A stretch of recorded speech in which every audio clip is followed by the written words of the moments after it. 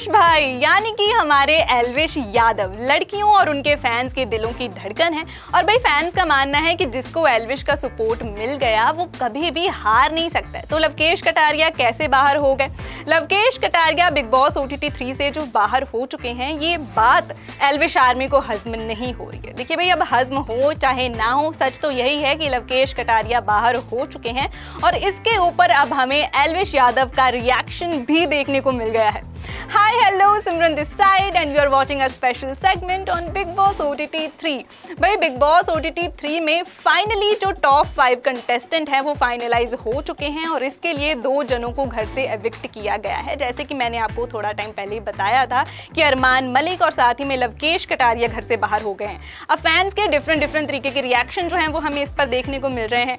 लोग इस बात को हजम ही नहीं कर पा रहे हैं कि लवकेश घर से बाहर हो गए क्योंकि जो प्रडिक्शंस की जा रही थी ऐसा जो है वो प्रिडिक्ट किया जा रहा था कि लवकेश घर के विनर बन सकते हैं। अगर हम ऑडियंस वोट को देखें और सना मकबूल जो हैं वो हमें फ़र्स्ट के बाद सेकंड रनर अप बनती हुई दिखाई यहाँ पर दे रही थी लेकिन सबकी प्रडिक्शन एकदम से उल्टी पड़ गई है। मतलब लास्ट में आकर के बिग बॉस ने पूरी की पूरी गेम ही पलट दी। लवकेश को घर से बाहर निकाल दिया है। एलविश आर्मी और जो लवकेश के सपोर्टर्स हैं, उन्होंने तरह तरह की वीडियोस जो हैं तरह तरह के मीम्स एंड पोस्ट जो हैं, वो सोशल मीडिया के ऊपर पोस्ट करने शुरू किए हैं, जिनमें बिग बॉस का बाइकआउट जो है वो शामिल है। साथ ही साथ शेम ऑन बिग बॉस इस वक्त ट्रेंड कर रहा है। क्योंकि देखिए, अगर हम साफ़ तौर पर देखें, लवकेश को काफ़ी खासे अच्छे वोट आ रहे थे शुरू से लेकर के अब तक। खास तौर पर जब वो विशाल वाला कांड हुआ था, उसके बाद जब हमें सबको पता लग गया था कि विशाल तो शायद घर से बाहर हो ही जाएँगे, अरमान भी हो जाएँगे तो लवकेश वहाँ पर हमें सबसे बड़े खिलाड़ी बनते हुए दिखाई दे रहे थे। अगर हम ऑडियंस वोट को देखें सो so, जब सब कुछ ठीक चल रहा था जब बिग बॉस को लवकेश की ज़रूरत थी तब तक उन्होंने रखे रखा लवकेश को घर में। और अब जब फिनाले आ गया अभी फ्राइडे को फिनाले हो जाएगा तो दो लोगों को एविक्ट करना था भाई। हम सोच रहे थे अरमान और कृतिका जाएँगे लेकिन यहाँ पर एकदम से बाजी पलट गई जब लवकेश कटारिया घर से बाहर होते हुए दिखाई दिए। एलविश अभी इंडिया में नहीं है वो अभी फ़िलहाल के लिए लंदन में है लेकिन उनकी एक रिसेंटली वीडियो कॉल जो है वो सामने आई है। लवकेश कटारिया के साथ लवकेश घर से बाहर आ चुके हैं। और जो बातें सामने आई हैं, भाई लवकेश ने कहा कि जो जो हुआ है भाई, मैं तुझे बाद में बताऊँगा जब तो इंडिया वापस आ जाएगा। इस पर एलविश ने एक बहुत बड़ी स्टेटमेंट दी है, जो जो खास तौर पर बिग बॉस के लिए भी शर्म की बात है। भाई एलविश ने कहा है कि देखो, तुझे वोट से नहीं हरा पाए हैं। ऑडियंस की वोट के हिसाब से तुझे नहीं हरा पाए हैं ये बिग बॉस ने धोखे से तुझे बाहर कर दिया है।